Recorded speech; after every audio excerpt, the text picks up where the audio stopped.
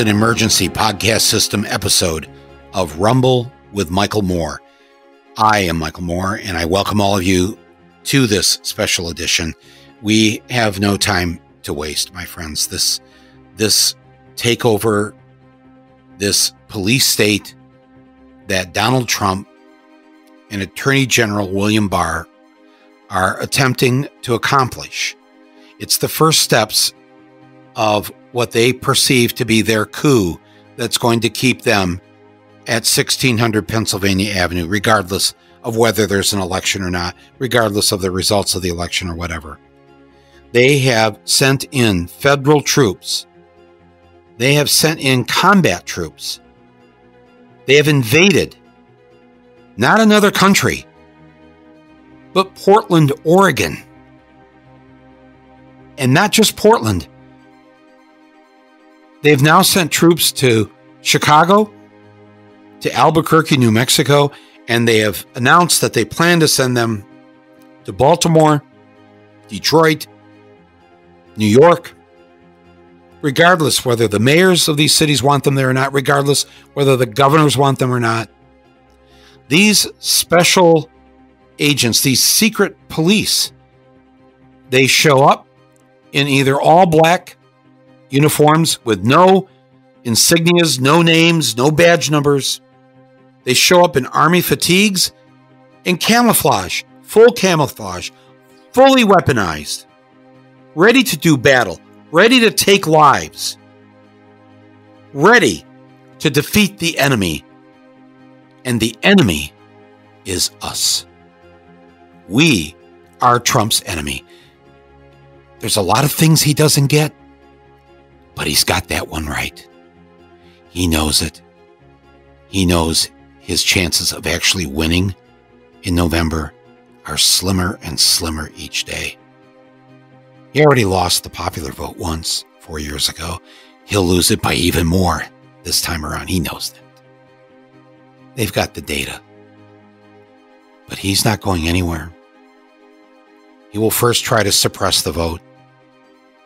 That's what the Republicans are good at.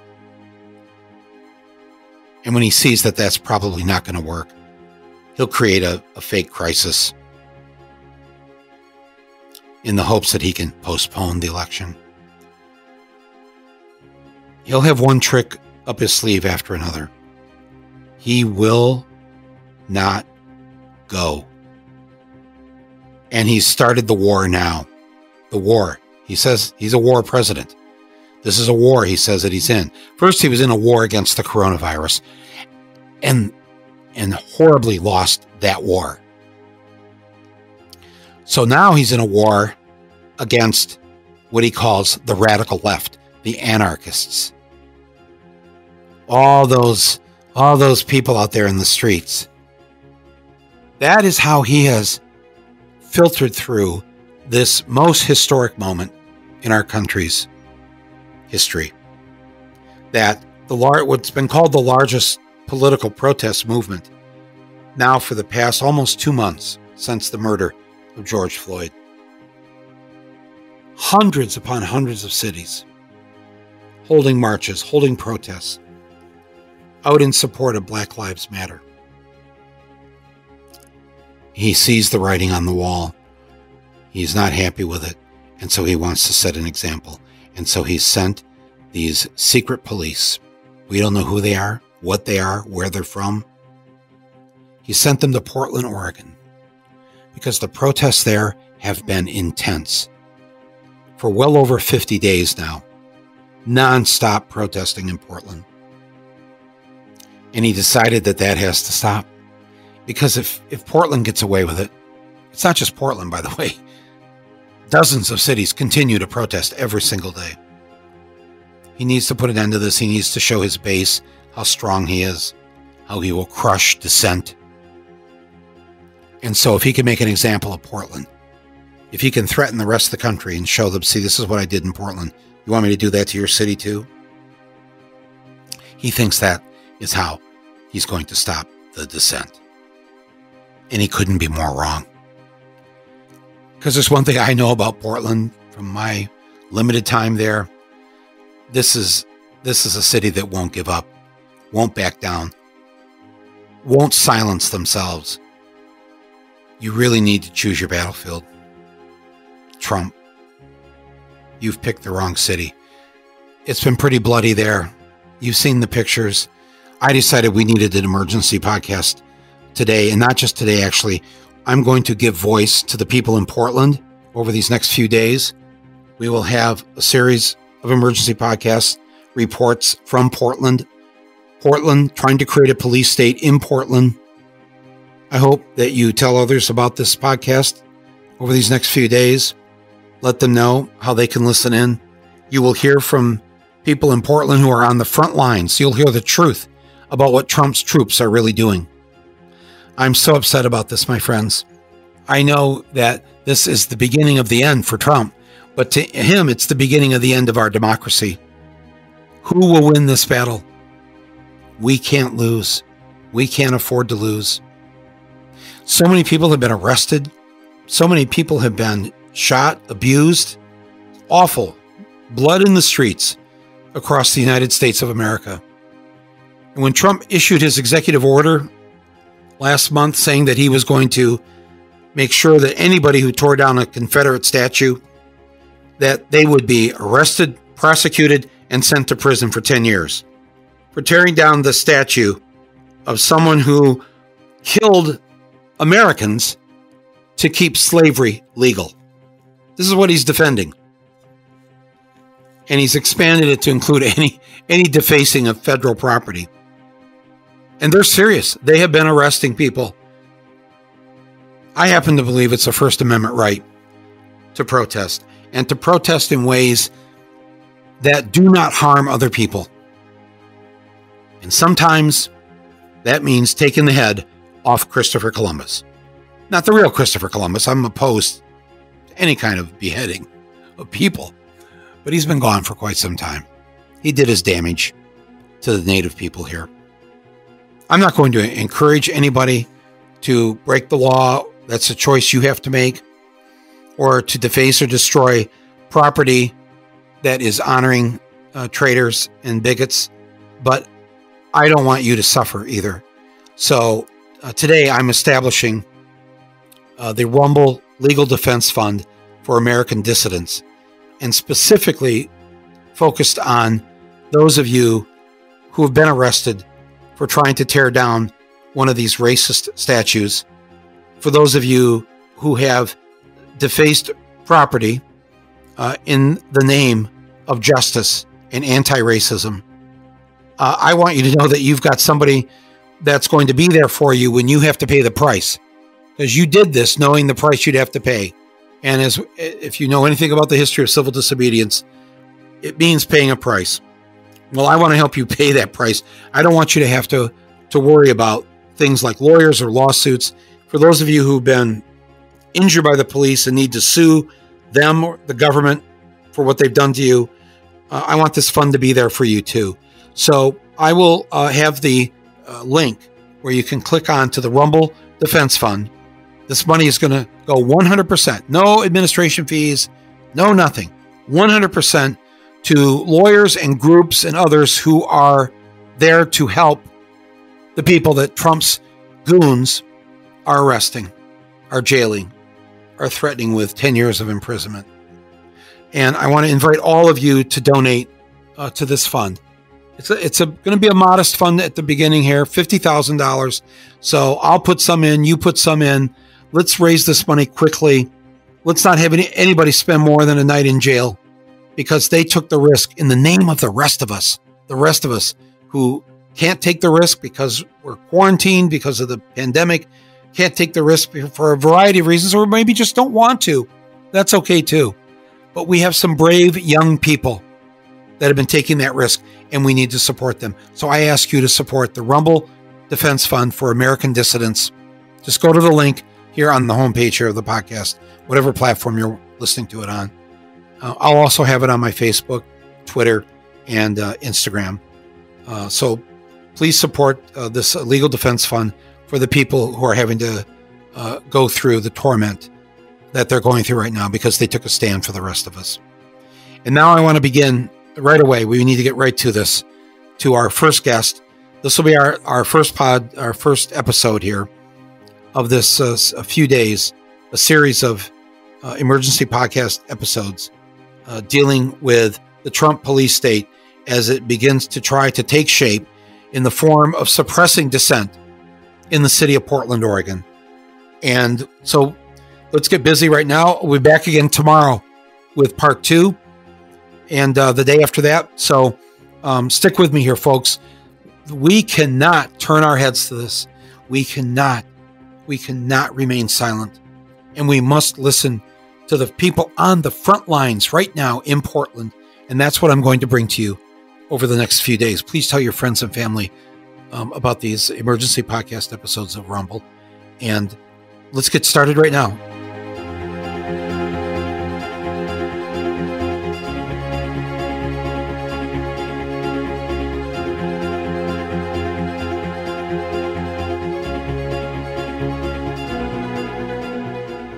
So, for the past uh, 56 nights or so, pretty much um, every night or every other night, um, our guest, our first guest here uh, on this emergency podcast, uh, is a young man, 17 year old a student.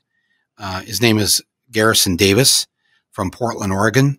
He has been uh, pretty much for most of these nights, every night out there in the middle of the protests that started immediately after the murder of George Floyd and have continued uh, ever since, and now have been reinvigorated, if that's a word, by the appearance of Trump's shock troops, the secret police uh, that uh, he has sent in uh, to Portland. I welcome you, Garrison. Thank you very much uh, for being on Rumble. Yeah, absolutely. Thank you for having me on.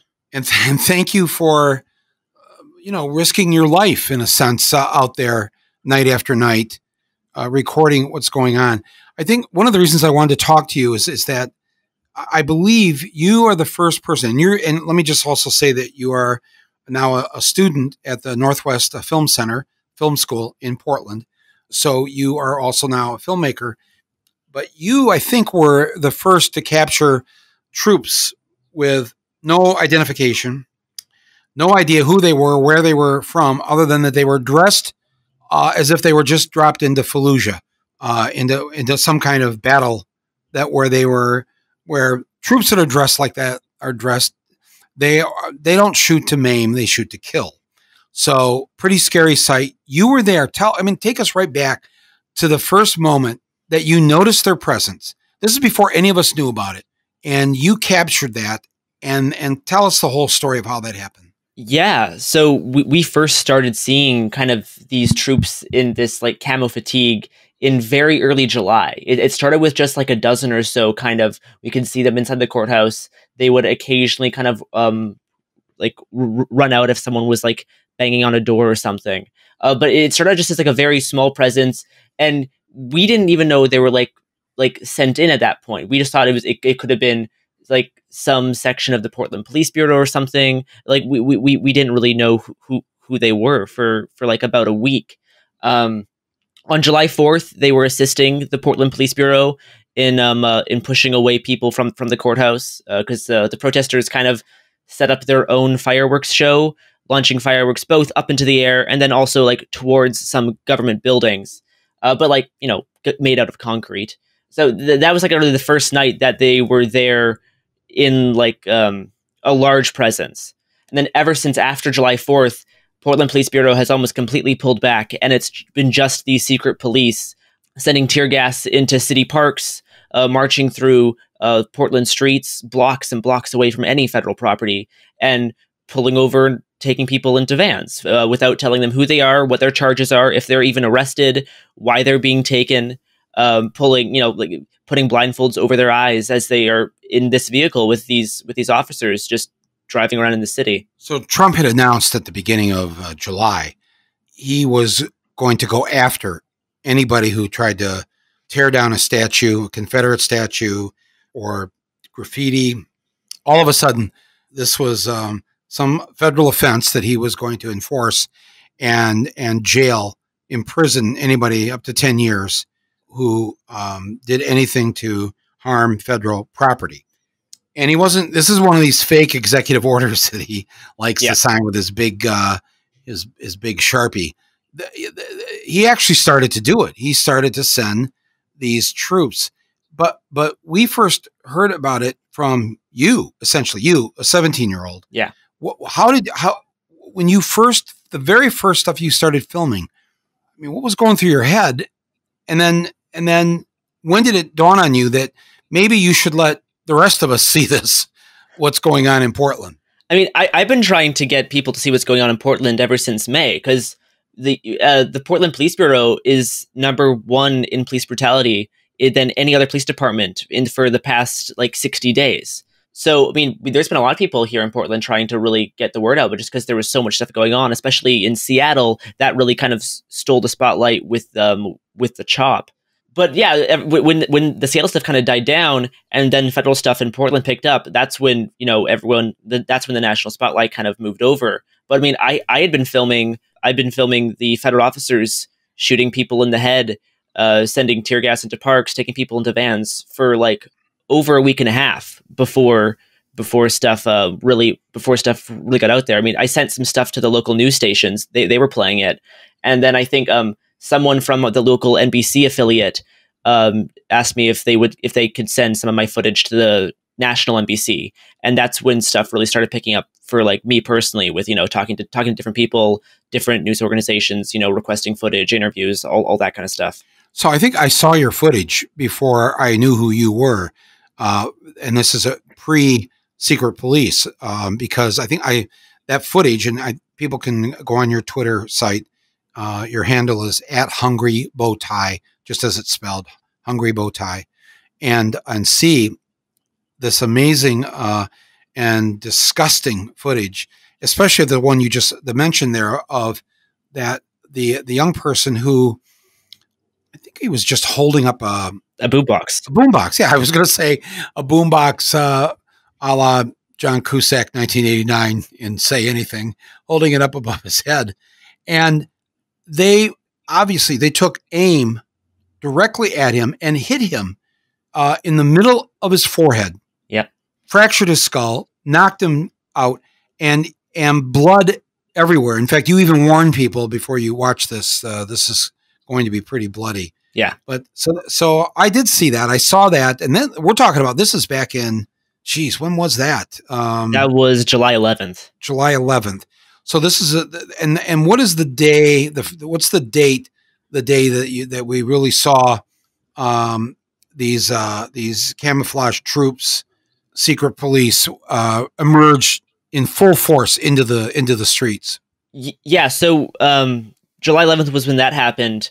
At around July 14th through 16th, that's when we started seeing people getting taken in the vans. Okay. Um, We've seen that footage, right, where protesters are just kind of swept off the sidewalk and thrown into Yeah. the back of a minivan, Yeah. or some or other one of those black SUVs. yeah, yeah. Um, it's it's been found out by some local reporting here that those are just like rental cars. Like they're not even like undercover government vehicles. They just rented those cars in Portland, and they're using them to take people not not even protesters there's some people taken that just happened to be wearing black clothing and downtown at the wrong time and they were s- taken away in in these vehicles The one you on of your footage, uh, the one guy was just he wasn't protesting or anything.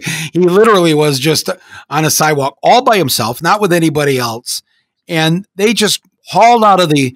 I didn't know they were rented. Meaning, okay, so these, so this is our we're uh, the greatest military force on earth. Going to budget budget rental car to get their to get their secret police vans. You see, I know we don't really mean to be laughing because this is actually very serious, but I'm I'm laughing only because it gives me hope that we will defeat them. Yes We we will they will not win because they're idiots, and and most of us aren't. And so yes, go ahead. S- speaking to them kind of being idiots yeah one thing they keep doing is they keep putting up a fence around the courthouse and uh that that fence doesn't stay there for too long and eventually that fence is going to be used against them every single night that they put it out just today they unloaded tons of like concrete barriers and i'm like all right well in about 12 hours, those concrete barriers are going to be doing a very different job than what they're doing right now. Um, so th- they just keep giving people materials to barricade different sections of the city, uh, barricade like the courthouse. Especially in Portland, you put out the concrete barricades within 12 hours. They're not only, only going to be used for something else, they'll also have some amazing modern art uh, yes. spray painted. yes. onto them. So you posted, I think, uh, yesterday or on your on your uh, uh, Twitter account, you were talking about how essentially teenagers were defeating federal agents, and you and you have some footage there of a group of I don't know four or five teens wrestling one of these camouflage troops who's got the camouflage guy's got all these wep- all this weaponry on him. Yeah. The teenagers have no weapons and they wrestle him to the ground. They're, they don't hit him. They don't strike him. They don't, as, as far as I could see in the video. Yeah. They, they, just, they just took him down. And then you can hear one of them say, okay, it, it was like they, they taken down a Confederate flag. Okay, let's go. And then they're, and then they're out of there. They don't want to hurt the guy. And he's very embarrassed. The cameras are on him. Your camera is on him. And you wrote something about you. Well, you should say in your own words. I can't remember exactly what it's now, but essentially that, that young people and young adults were, up against uh, the mightiest force in the world and actually defeating them night after night. And anything they attempt to do, whether it's put up a fence or put up a barricade, it doesn't matter because the people of Portland aren't going to tolerate it. Yeah, ever since like this past Friday, like after the federal officers first came and you know they shot the person in the head, they were you know taking people in vans. Everyone was really down and really feeling hopeless. Um, but the past like four nights, f- five nights now, have been, I, I would consider them like consecutive wins by the protesters. We, we've had a group of teenagers in black hoodies and moms in yellow consistently beating the federal troops and sending them back into their little building. Um, it, it, the, the, thing you're talking about with the with the wrestling, uh, a, few of my friends were actually the ones filming that. I was I was off to the side, uh, getting shot at at the time. Uh, but I, I, talked to them about that. What was happening is there was a, an, an officer um, uh, tackled someone and was trying to arrest them, and there were no other officers around. So these like four kids were like, you know what, we're not going to let our friend get arrested, and they they they jumped this guy, um, and the person that was getting arrested uh, ran away. Um, but but they they really only jumped him, and like there, there was no one around. They could have done a lot more to this officer. He like he he had a sidearm on him. Like he had he had like stuff could have been done to this guy, and they're like, no, no, we're just gonna save our friend, and then we're gonna leave. Um, but in the like like five seconds later, we saw another another federal officer who like saw this guy on the ground, ran over, and he actually did pull his sidearm and pointed it at like at the crowd. Um, and that's kind of thing a, a lot of the journalists here and a lot of the protesters are kind of bracing for is when a sidearm is actually going to get fired because that's really the that's really the only escalation we need to see now because at this point Portland is very resistant to tear gas, very resistant to flashbangs. Um, we have a very there's a very good shield wall that is getting used every day. You know, kind of like in Hong Kong. Explain to the people listening that when you say that Portland is resistant uh, to tear gas and flash bombs, that that you all have figured out a way to not let the weapons uh, that we'll call them for right now mostly non-lethal weapons. Sure, uh, but they can be lethal. Yeah. Um, uh, that they use against you, they are not able to succeed in stopping the resistance uh, in Portland. How, can you share? I, I, I know you probably don't want to give away your trade secrets, but can you just share this with all of us in these other cities?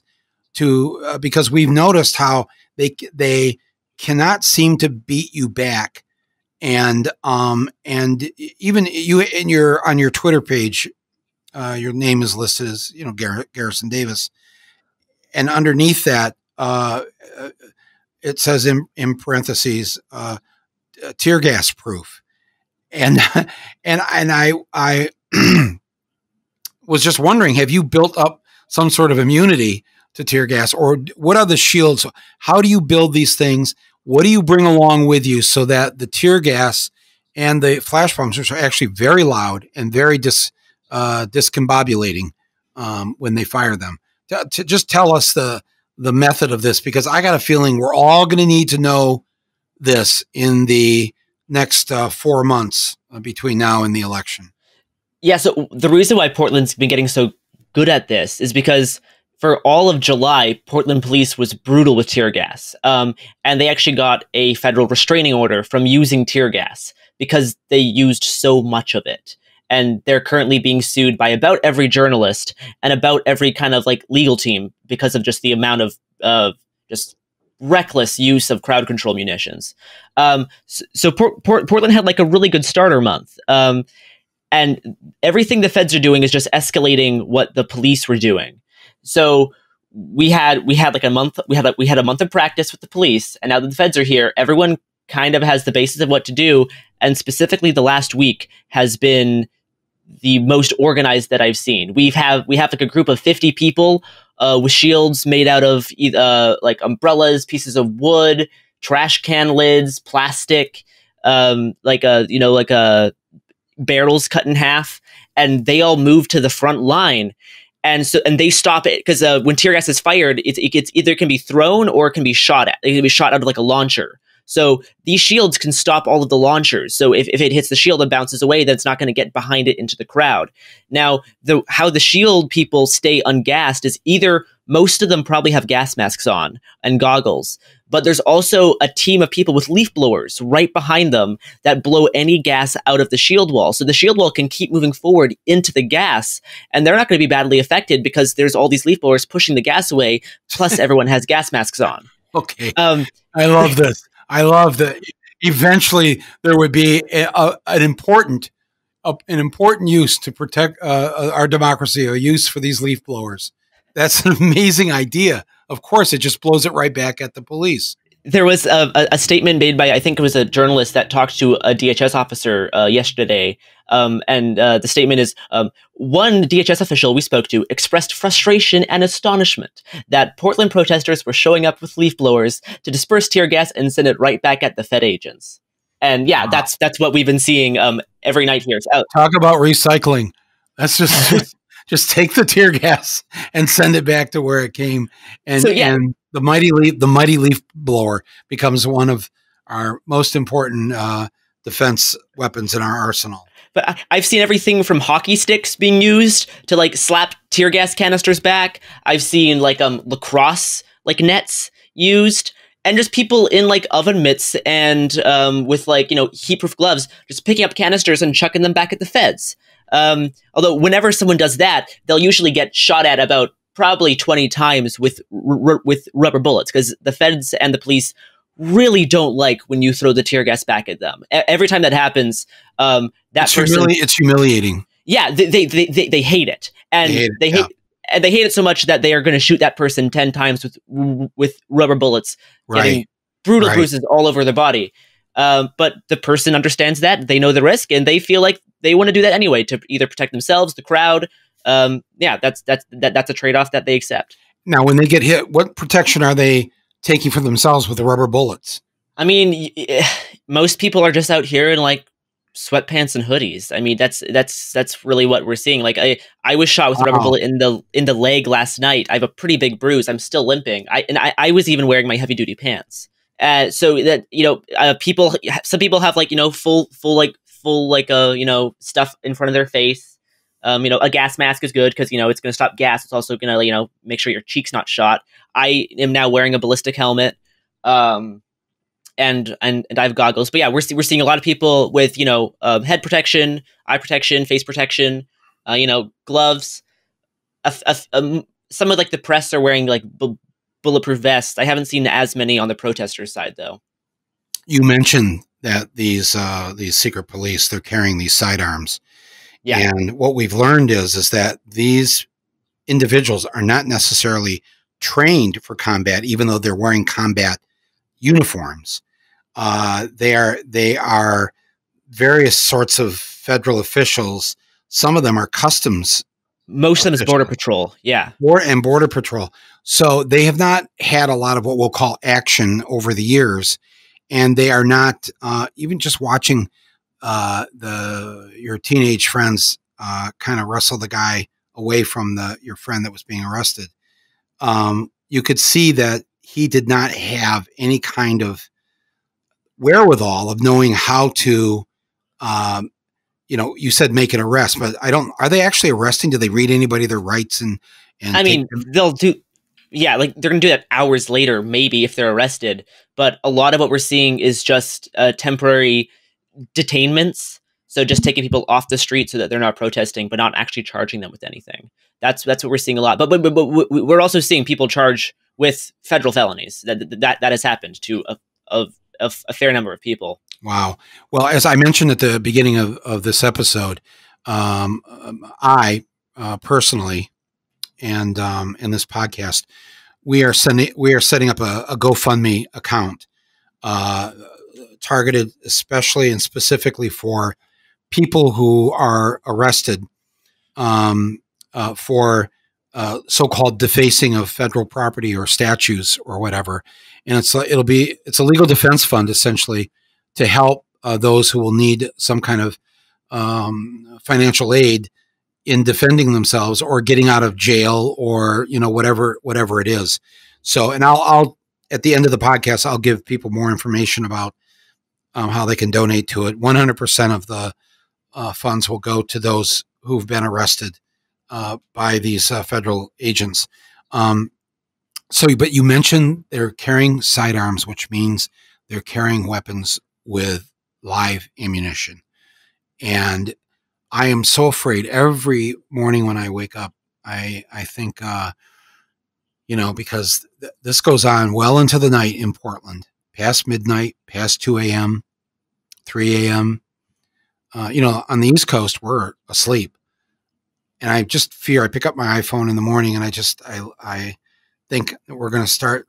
This was the night the, these feds are actually going to kill innocent people. And you guys must be very worried about this uh, because it only takes one of those agents um, who feels that a bunch of teenagers and moms um, who, you know, I don't know how to say this. Well, I'll use their own quote. We wanted to dress like we were on our way to Target. so, so uh, if they're if they end up killing one of those mothers, end up killing one of you, your friends, we will not only be crushed by this, the level of anger. Um, I mean, people are already rising up against what they're seeing right now. It's taken a few days, I think, for everybody to kind of catch on to because you don't want to believe that we could actually become a real police state. You know, we, we might say that rhetorically, but really not really, right? And now we look at Portland.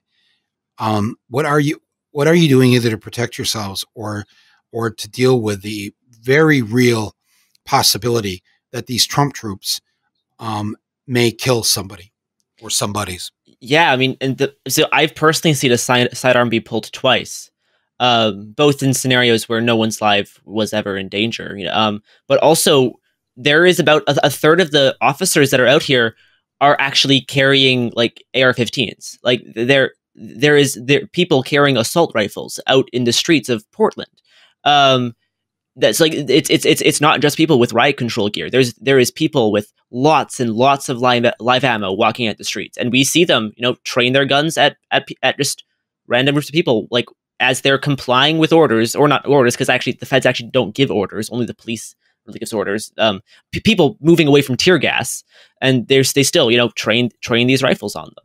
Um, so I mean, yeah, that's something you know all of the protesters I uh, are thinking about kind of everyone in like the like the indie press um, scene in Portland. That's something we're all talking about. I mean, we we all have group chats that I mean, we we we're discussing, you know, how we're going to handle stuff when this happens. But I mean, every night when I go out now, I have to constantly be looking for, you know, where's some where's some cover that can actually like stop a bullet if stuff happens. You know, what's my what's my evacuation route? Uh, you know, what what am I going to like how can I position myself to make sure like I'm not going to get like directly in the line of fire if there's if there's live ammo if if, if, if there's live, live ammo. Um, that's just something that's you know constantly on on my mind, and it's really weird to be in, in like an American city and to have that to be like your natural thought process and you don't even like question you're like okay yeah no this is something i actually have to like this is something i actually have to like think about and consider. Because that's that's kind of the place that we're in in portland now is that the secret police have been here for so long and they've tried everything they can to stop this, and the protests have only gotten bigger.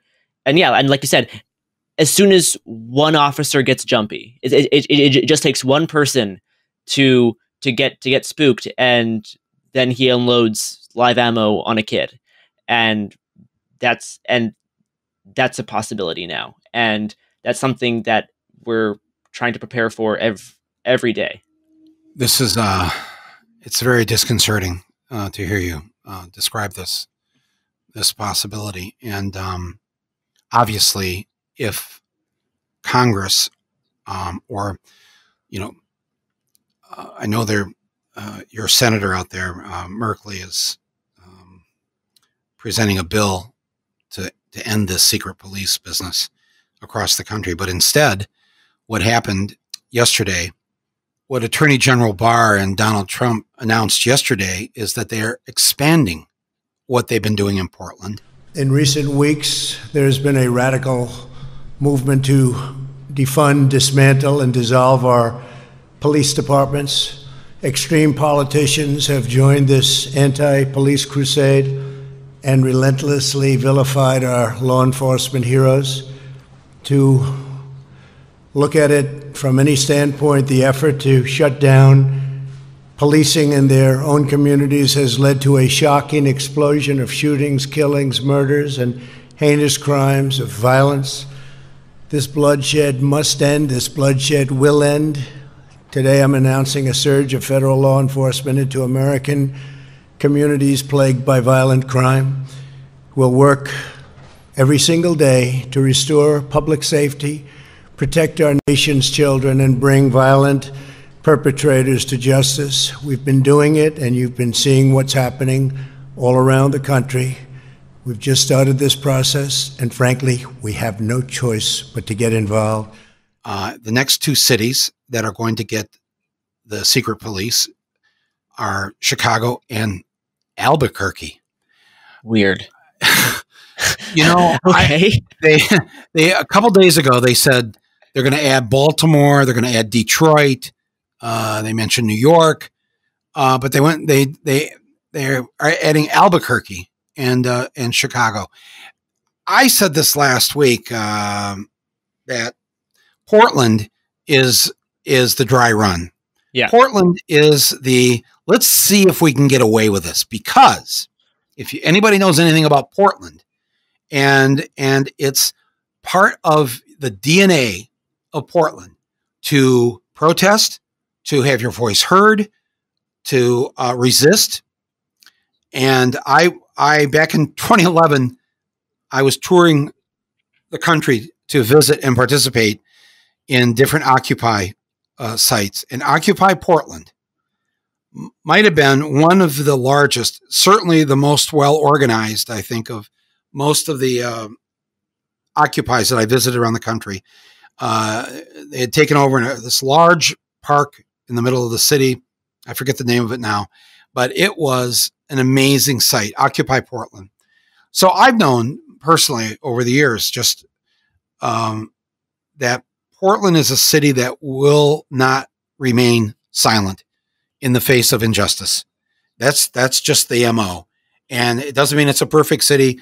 Uh, you, you also seen stories of white supremacists and others uh, in in Portland, so it's not it's not uh, it's not Haight Ashbury in the '60s, but um, I believed when this started a couple weeks ago that the the point of this um, was going to be to see if we could get away with this in Portland. If they, as you said, in the first days when they arrived, people started to feel hopeless, helpless. It's like, how are we ever going to fight this? We're going to yeah. lose. You know, that sense that comes off, they exactly what, what they want us to feel, exactly the response they want. Uh, they want that response and they want somebody to start a riot so to give them the justification to riot themselves. What we've been watching from Portland is they've they have been the rioters, the secret police, uh, and they just stepped in to fill the shoes of the Portland police, who were already rioting since May 25th. So, yeah. so it, it, do you agree with us that, that this is, that this oh, was oh, yeah. like spring training Portland was the uh, this was uh, uh you know uh, what's the show on Broadway? It's in previews. Yes, it was the preview. Yeah, this was preview. absolutely this is absolutely this is absolutely like the test run of what Trump wanted to do, which is why it's so important that if if we don't want this to become a police state, that Portland succeeds in fighting off these people. Because yeah the, the, first few weeks everyone was hopeless. And that was that was the goal. I think a lot of the goal of all those you know like kidnappings in those vans and just the extreme brutality on uh, you know on like the first few weeks that was just to get people to not want to come out. That was to like brutalize them enough that they feel like they can't do anything and that they just should stop going out to protest. Um and and that worked for about a week. But after a week all of that fear turns into anger and then when people are angry, they want to do something. And what they're going to do is they're going to go out in the streets and they're going to fight the feds. And that's what we've been seeing happen this this past weekend.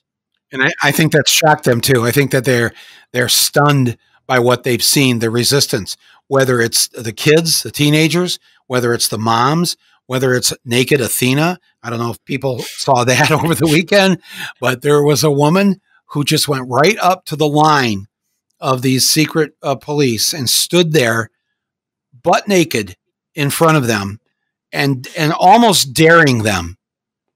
And and if you watch the whole tape what's amazing is is how these men do not know what to do. And i think a couple of them got out got out their own iphones because they wanted oh, to they did. they wanted yeah. to get a picture or a selfie. They're supposed to be there you know trying to take down the protesters, but send one naked woman in, and it was like, uh, oh, this is different. They don't know how to handle it. And you could see their brains trying to go, wait a minute, what's this? That woman doesn't have any clothes on. And then she she sat down in the street and started doing yoga poses. And and the final the final shot of, of, of is, is her sitting there, sitting on the street, facing them, staring them right down, and opening her legs, saying, "This, here's my weapon. Here's my stop this." And they just they it worked, and they left. left. They left. They ran away from I don't know what to call it, but it's like it's like I don't. I I think we're just really a a few weeks away from the 100th anniversary of women fighting for and demanding in, uh, the vote. And here is this singular woman saying, "I am more powerful than all of you. I don't care what how many guns you have." And they were at the beginning. They they were still trying to fire some those little pepper yeah. balls of uh, tear gas at her. She didn't flinch not a flinch. You know, and yeah. then and then some well-meaning liberal guy got a, a, makeshift shield to stand in front of her to protect her, and she shoot him away. Yeah, like get out of here, dude. I'm a woman. I'm strong enough. It was mind blowing. I don't know. Were you there, uh, Garrison, for that? I was. I, I, I was. I was there. I was there for the whole thing. Yep. That's some of your footage that we might be watching. I don't know, but it was. It, what? Give us your impression of of what happened. And remember, you're only 17. Yes. Um, yeah. So she she just walked up, uh, past all of you know the protesters, you know, in, with like with like shields and leaf blowers, and they they were all behind her. She just marched past everybody, planted right in front of the feds, and just stared them down for ten minutes until the feds just didn't know what to do. They're like, well, um, I guess we could try shooting her more, but uh there's a, there's there's a lot of cameras watching and I really don't know what to do with myself and then they all just left. Um, and yeah, and previously that street was that previously that street was getting tear gassed, and then she walked up, and then they stopped tear gassing the street. Um, so th- so that that that that happened, and then the very next day we had 500 moms show up. So talking about yeah, like uh, like women being stronger than you know everyone else. The next day we got 500 moms all show up to the front to the front lines and stare down the feds and just look disappointingly at all these officers as they tear gas them and their children. Um, and we saw a lot of very snarky signs. The, my, my favorite one was, "I'm so disappointed in you, mom." Um, that was that was one one of my one of my favorite signs of that night. Man, so now when the mom showed up, what was their reaction to that? Well, I mean, what that must have also really flipped them out because I, I oh yeah, again, I've seen the footage here. So just describe that situation. Yeah, so uh, when the moms first showed up, there was you know there was like singing and chanting like there usually is like in the early evening, and then when people wanted to get closer to the courthouse, these moms were like, "All right, there's people at the courthouse. We're we're gonna go to the courthouse too," and they all like linked arms, all marched right in front of the fence because the, the, the, there was a fence there at the time, and stood right in front of the fence. Um, the officers all charged out, and they looked at these moms. They stood around for like 15 minutes, and they're like I, I, I guess we could tear gas the moms at this point, but but may, maybe not. And then the moms just stared at them until they went back inside their building. Um, wow. And yeah, that was that was uh, last Saturday, uh, and that's just it's it's an amazing thing to watch. You see like 300 like mothers, everyone you know, everyone from like their 20s to like their 60s, just standing in front. And most uh, most of them at that point didn't did most of them didn't have any gas masks. They just had you know like the regular m- medical masks for COVID. Um, and they're just, you know, standing in front of these officers with, you know, AR-15s, riot control gear, you know, like tear gas launchers, and they're just standing there like unflinching. Um, and officers like pace back and forth on the courthouse, not knowing what to do. How have the people of Portland kept up these protests for? I think it's I, I don't have the number exactly right, but it's probably 55, 56 straight nights almost yeah. 60 days since George Floyd uh, was murdered. How, because, you know, we've seen in the past, at first there's always a big outpouring, first day or two, maybe the first week, um, and then it goes away. And they, and those in, in authority always count on people getting burned out. Uh, they've got families, they've got jobs, they've got things to do. And, and the protests become smaller and smaller how has this and what's the theory here? Because you know, let's let's also admit here that while Portland does have a significant um, minority community of of black and brown people, of Native uh, people, um, Asian uh, Americans, they uh, this I think is seen. I think, and I'm just speaking demographics here, as one of the, if not the whitest large city yes. uh, in America, or or as I like to say, the the whitest NBA city in the con- in the country. No offense again to the people of Portland. Uh, you were born the way you were born. Um, nonetheless, what's been so impressive is how many white people have been willing to put themselves on the line, risk their lives, and keep this thing going now for two months for yeah. two months. Um, what what is the what? Help us out here because I I agree with you. If they can get away with this, you know whatever what you said there, and what I said about it being um, spring training, that if they can get away with it in Portland, they can get away with it in Albuquerque. That's my point. If they can get away with it there, they can get away with it in Boise. They can get away with yep. it just about any place else. So they've got to beat down the city of resistance first yeah, I think there's a particular series of events that has caused this current situation to happen. Um, the first thing is I don't honestly like um, the pandemic. Actually, is one of the main things that has kept this going. Is because a lot of people in Portland are out of work. A lot of people are out of jobs, um, and they and they're you know they're frustrated at certain things and they have nothing else to do. So like we may as well go and protest the police. Um, other thing is like protesting is like a big part of Portland's culture here. It's just like it's like a key tenet of the city is to protest. Like when you're talking about like the white supremacists and stuff, yeah, they they, they all come here because Portland is such a protest city that they know that they'll be able to like incite a a reaction from people, right? So port- protesting itself is just a big part of like this city's culture. Um, so that um, so yeah, the pandemic, protesting, the extreme brutality by the police has caused a lot of people to get really frustrated and show up in bigger numbers.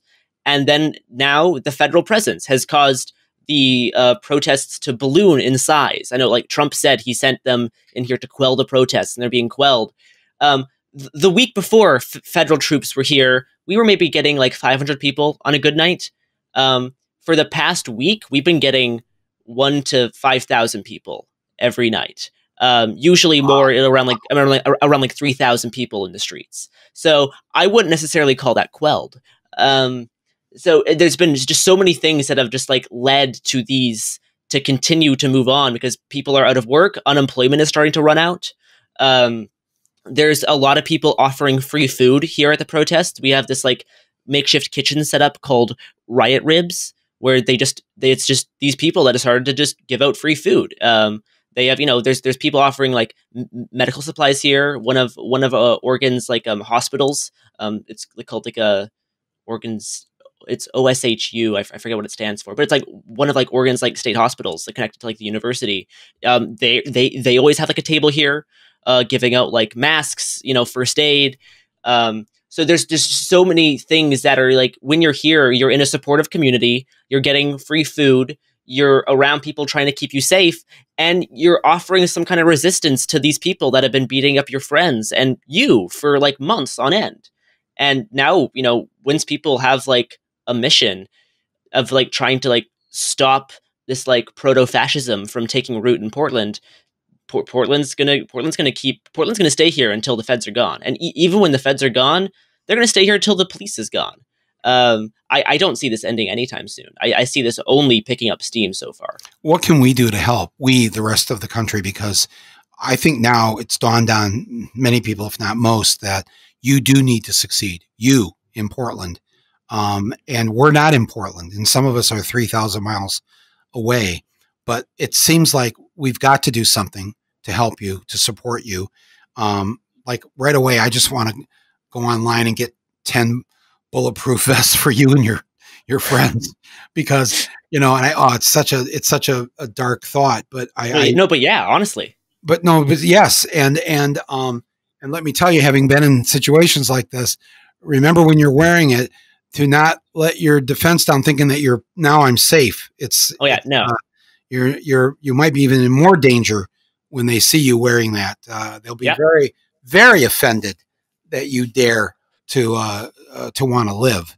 Um, but what can we do? What can the people listening to this? Because you've got uh, tens of thousands, if not eventually this week, hundreds of thousands of people listening to this podcast. And here's a direct line to you, Garrison Davis 17 years old in Portland. What can we do to help you and your friends who are leading one of the most important moments of resistance in, in at least my lifetime, if not certainly one of the top moments in our history? Uh, yeah, there's there's there's a lot of things that can really be done. Um, the Portland uh, the uh, PTX the PDX protest bail fund, which is helping people that are you know with uh, with legal fees and getting helping people get um out, like uh, out of jail um, that's you know one of the more basic things to do. Um, supporting how do we, how local. Do we, can, where, do, where do we go to contribute to that bail fund? Because you get arrested and you're in jail, and uh, you got to get out of jail. Um, so what's the what? What is the way it? By the way, for people listening, PDX is the three-letter airport code for Portland. If you've ever flown to Portland, your ticket will say like JFK to PDX. PDX. Yeah. Uh, yeah, so there's there's a there's a GoFundMe called the PDX Protest Bail Fund that uh, that you can go to. Um, but on, honestly, right now, because we're dealing with so much Fed stuff, that's that's not really as applicable at the moment because the police aren't arresting people at the same rate. It's been mainly, mainly, mainly the Feds. Now, what can we do right now? Do some of us need to come to Portland? I mean, what you no. know? Well, it depends. If you're coming here to protest, you can you, you can get here safely. Feel free to join the fight. Um, what you can do is you can support all the local journalists that have been here since day one reporting on this stuff.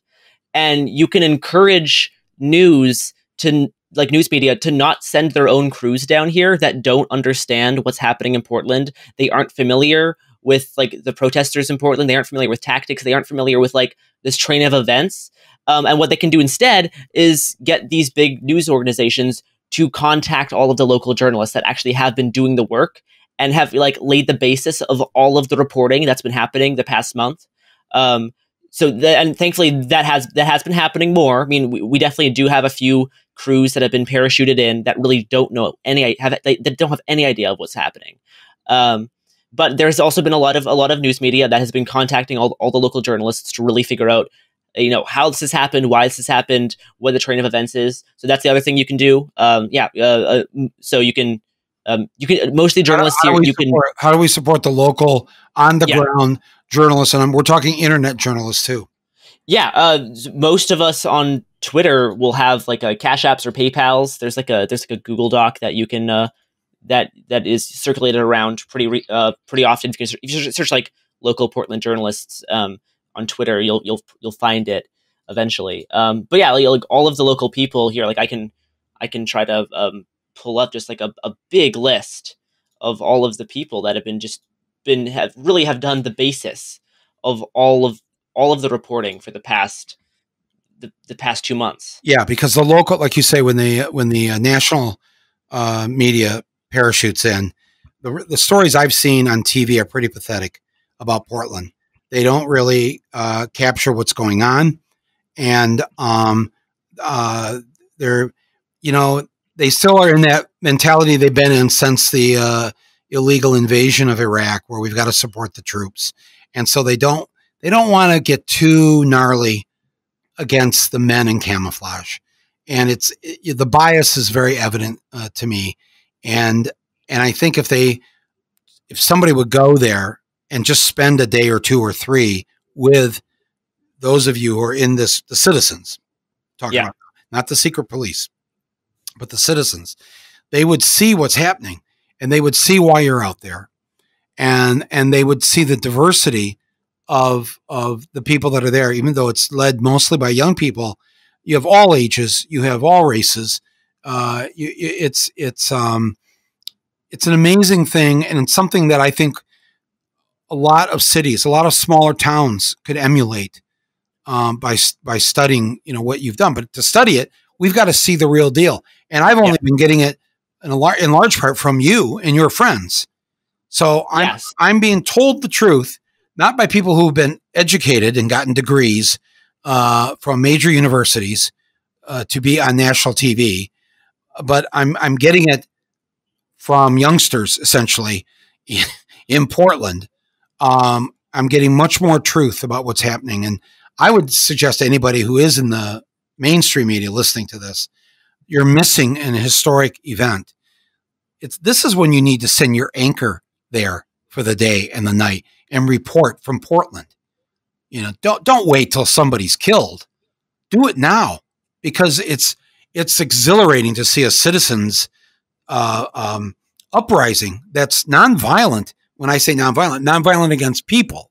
against people. Yeah, Um, buildings can't experience violence. buildings cannot experience violence, but as we know, our constitution and our economic system are set up to protect property and wealth. Yes, all of that. So, um, and that's why I don't want anybody to be in jail. That's why we've set up our own GoFundMe legal defense fund for people that, if you're taking down a statue, I guess legally I cannot tell you, please go take down that statue and then I will give you money from the defense fund. So I'm not saying that. Um, but I am saying I don't want you to spend a more than a single night in years in jail. jail. Yeah, Yes, and not ten years in prison, uh, which is what Trump wants to do to you. So we're gonna we're gonna defeat this bastard one way or the other. And I can see now this is he knows his history. He's not as stupid as we think he is.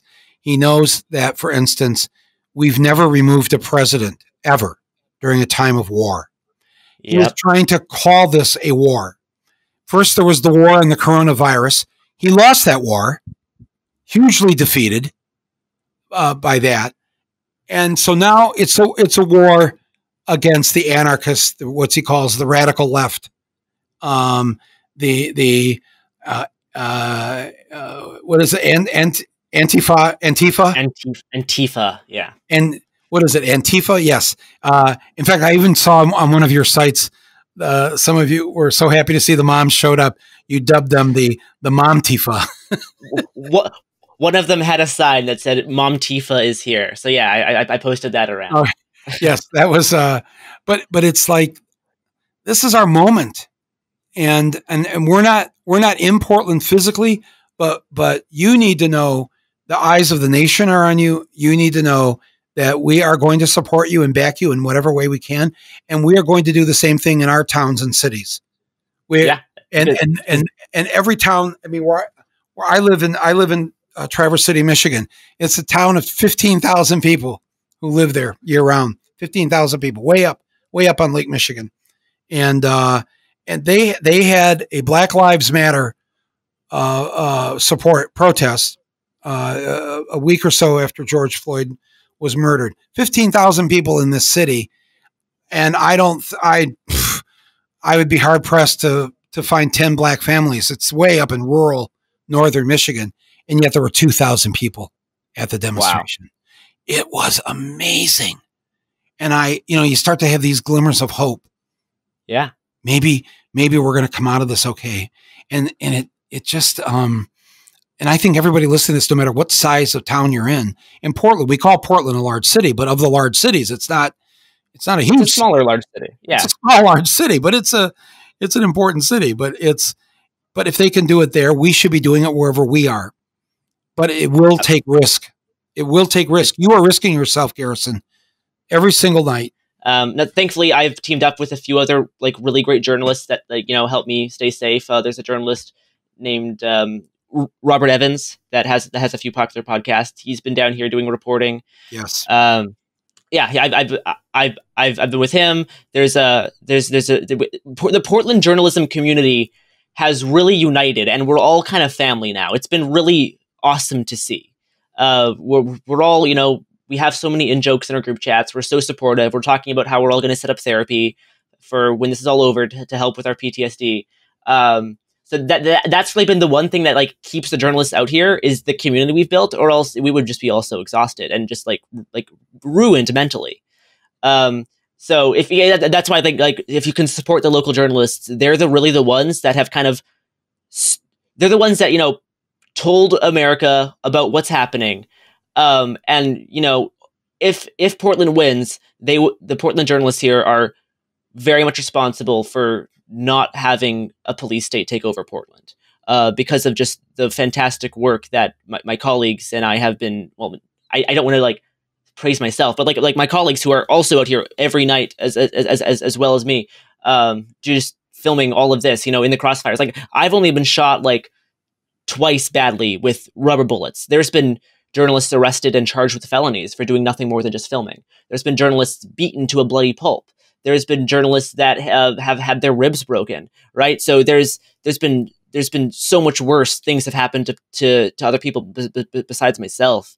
Um, so yeah, if you look up um, Portland Independent Journalist spreadsheet on Twitter, that, that, that, phrase, Portland Independent Journalist spreadsheet, it'll bring up a Google Doc of all of the people doing all this fantastic work. Wow. Um, some of us are some of us are freelance. Um, some of us work for uh, work for some like a news organizations every once in a while. There's a local uh, newspaper in Portland called the Portland Mercury that absolutely support them. They've been doing the best written coverage out of any place I've seen. Um, the Portland Mercury is just an, a phenomenal um, news outlet here uh, here based in Portland. They've been doing just amazing work, along with yeah, and then along with like a dozen independent people. You know, we've ever we have people here that have you know freelance for the New York Times. I've been sending a lot of footage to NBC. Um, we have you know LA Times, Washington Post. We've had a lot of we've had a lot of these people are starting to work with these bigger news organizations now, which is great that their work is finally getting recognized. Um, but yeah, you, you can support them. You can support them on Cash App, Venmo, PayPal, because they absolutely deserve it. They have been getting beaten up and put in like put in between protesters and bullets for months now. Um, and yeah, they they deserve all the support that they can have. Well, I'll do my part in uh, in being supportive in that way, and uh, I will make sure that your voice and the voices of those you're working with are amplified on my Facebook and Twitter and, and Instagram, and on this podcast. Um, I, um, I, I really admire you, and uh, um, I just feel so much better about the world I'm living in, knowing that there's people like you, Garrison, and 17 year olds like you, who are are doing this, and uh, and it's exciting to think about what you will do um, as you grow older, as you become an adult. Uh, it, it, we need you. I'm sorry we left. You know, we we didn't fix everything and and in fact, in many ways, the world is worse off than when we were your age, and it's um, it should have been that way. And so, sadly, you have to, you and your generation have to now make this work um, because um, because we, we did our best and we did a lot of good things, but um, but we're not over yet either. And so so we can follow you and and and we can help you. Um, and I think we all all need to do that. And it, uh, I don't know if you're going to make a film about uh, with all the stuff you've been filming and whatever, but uh, whatever you do with it, do something. Let let the people see, let them know what happened in Portland. This this moment um, must be remembered uh, for decades to come, and uh, and you're going to be a very important person in making sure that that, that happens. And I can't I can't thank you enough. And um, are you are you going back out there tonight? And uh, uh, what, what's your what's your plan the next couple days here? Yeah, I'm I'm planning on going out there tonight. Um, my my my leg is fine that I can still I can still run away from the feds if they uh if they try to chase me down. Um, and yeah, I'll be out here. You know, the weekend. There's there's there's a lot of actions planned on the weekend. I believe there. Um, I just heard an announcement that this Friday there are a few groups planning a dodgeball fight, um, bringing a whole bunch of dodgeballs to uh, in front of in front of the federal courthouse and trying to get the feds to. Well, I, I don't know what exactly their plan is. I'm, yeah. I'm not quite sure yet, but I've I've heard there's going to be dodgeballs brought uh, brought to the federal courthouse, and that's kind of all I know. Uh, yeah, it's, more along to speculate. my my assumption would be uh, the idea is to play dodgeball, not war. Uh, yeah, well, and you know, I, I doubt the federal officers will throw dodgeballs back. I think they're probably going to throw tear gas back. But I think it'll be it'll be very interesting to film to see a whole bunch of teenagers throwing dodgeballs at the police or at the, at the feds, and feds responding with you know rubber bullets and uh, tear gas. So we'll see we'll see what happens. That's what I'm hearing is going to happen Friday. Uh, but there's actions planned all weekend. You know, there's you know uh, hundreds and hundreds of moms and dads all showing up every night, like color color coordinated. Um, yeah, it's like this stuff. This stuff's not dying down, and as, as, long as it's happening, I'll, I'll, be out there. Well, thank you for that. Please be careful. I, I know the dodgeball. It's a great idea, and it's very funny. Um, and you do want to see what what will happen, but we, we don't want to see that violence obviously being perpetrated against you and your friends and your fellow resistors. So please, please, please be careful. Um, we will all do what we can to support you. Uh, everyone's eyes now, are, I think, are wide open to this, and um, and that's I wanted to get this emergency podcast uh, of Rumble out now, uh, so that because I worry about the coming weekend, and um, and we need to put Trump and the federal government and whatever authorities in Portland um, are cooperating and collaborating.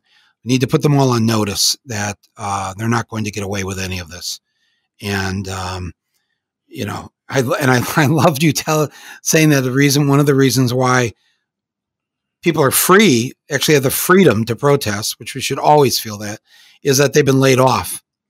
That Trump Trump's bungling of the of the pandemic, his total lack of leadership, and allowing tens of thousands of people to die that didn't need to die, that his his his bungling of this has created tens of millions of unemployed people who really now have nothing better to do than bring him down. So that I hope history will record it that way because it's it looks like he um, he really fucked up. Garrison, it's been a real pleasure talking to you, uh, and I know we've we've been kind of laughing a little bit, but I think it's only out of out of real nervousness and concern. It's coping. Yeah, and, it's coping. Yeah, we're just coping. So people listening to this saying, "What are these two joking around about?" We're not joking, folks. We're deadly serious. We just don't want to die, and we don't want yes. anybody to die.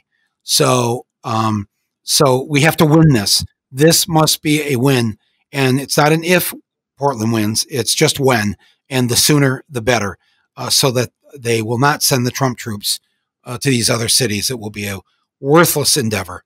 Um, so, Garrison, um, you probably got to get going uh, uh, here uh, off to wherever you're headed. Please stay safe. Please keep sending us uh, photos and video. Um, uh, his handle, once again, is at Hungry Bowtie, uh, at Hungry Bowtie, Garrison Davis and um, and look for the what's it called again the the Portland Independent Journalist spreadsheet. You can look that up. It'll have a, a, giant list of all the people doing just fantastic reporting. All right, and I'll I'll put these links here on my podcast page too, in case uh, nobody had a, if you didn't have a chance to write it down. Um, be safe, Garrison. Yeah, uh, we want we want to talk to you again. Okay. Yeah, absolutely. And thank you from the bottom of my heart. Thank you very much. Yeah, absolutely. Yeah, it's um. Thanks for taking the time to talk to me. Okay, be well. And that was Garrison Davis, a 17 year old from Portland, Oregon, on the front lines, risking his life every single night. God, Godspeed to him. Take care of him, protect him, and all the others out there. It's an amazing group of young people, of women, of Black Americans, Hispanic Americans. I'm and on our episode tomorrow, uh, we will have uh, one of the women uh, that's been on those front lines uh, with us. So please come back to us tomorrow uh, for the uh, next part in this series of emergency podcasts regarding the situation in Portland. Um, thank you for listening today. Get the word out, and don't forget to contribute to the Rumble Legal Defense Fund for these warriors for democracy who are out there in the streets for us. Um, I want to make sure that uh, they get the help they need. And we will do that through this legal defense fund. 100% of all money donated uh, goes to the people um, who are being abused uh, by Trump and his uh, regime. Whatever you give is going to go to the young people, the women, people of color, and others who are fighting there, not just in Portland, but across the country. Thanks for tuning in uh, to this uh, special episode uh, of our emergency podcast system here on Rumble with Michael Moore. I'm Michael Moore. Let's get busy.